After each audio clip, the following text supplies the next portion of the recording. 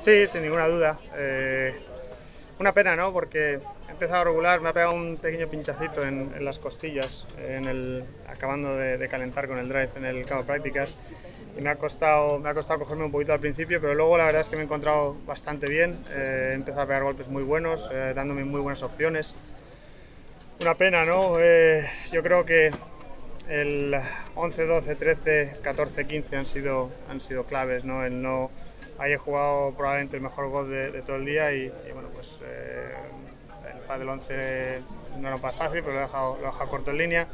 En el 12 eh, he pegado un muy buen segundo golpe y me ha hecho un backspin que, que no, no, viene a, no viene a cuento.